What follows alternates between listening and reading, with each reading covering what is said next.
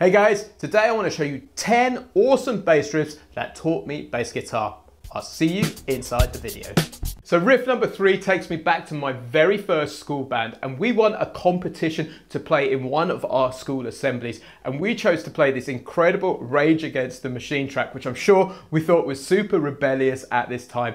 But looking at that riff now, it is an incredible exploration of two things building speed, and also the E minor pentatonic. This track is Bombtrack. Check it out.